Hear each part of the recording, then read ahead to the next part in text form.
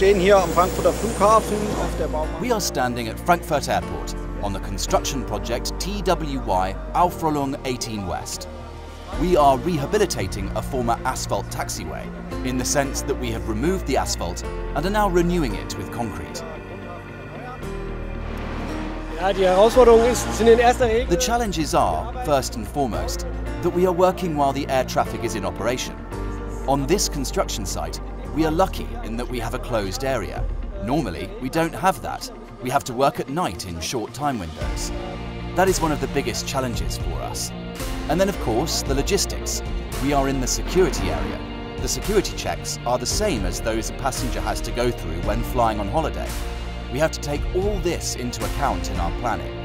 These two points are the biggest challenge. und äh, diese zwei Punkte sind so die größte Herausforderung. Bei dieser Maßnahme This is the first time that a hybrid construction method has been used at Frankfurt Airport. Hybrid means a 40 centimetre thick concrete pavement on a 10 centimetre thick asphalt base layer. Today, with the special feature that we have built an innovative trial track of 50 metres by 15 metres with a rapid hardening concrete.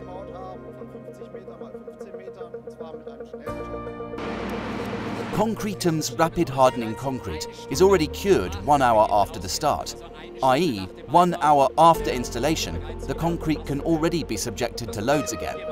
This offers enormous advantages for airfields because repairs can actually be carried out without interrupting operations. Schnellbeton, der härtet schnell aus. Rapid hardening concrete hardens quickly.